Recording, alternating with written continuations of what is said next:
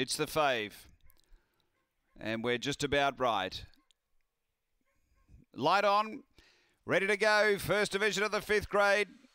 Set to race on their journey and speed out deep early. Victor Buzz and driving hard. St. Candy, they match it early. Victor Buzz pushing on with St. Candy behind those Alinga Chloe, then Bailey Rocks and back at the tail Cash Storm, but Victor Buzz able to dart over and kicked away uh, from St. Candy as they turn. Then came Bailey Rocks, Alinga Chloe and Cash Storm. It's clear Victor Buzz. It's going to hang on. Victor Buzz beats St. Candy second. Bailey Rocks third, then Alinga Chloe with Cash Storm. And the time here is around 25 and 60. After the running of race number four and uh, number eight, Victor Buzz had the uh, superior acceleration in the early part, was able to push up and get over and has been able to uh, hold them off. Uh, St. Candy, she rallied again in the home straight to uh, hold second.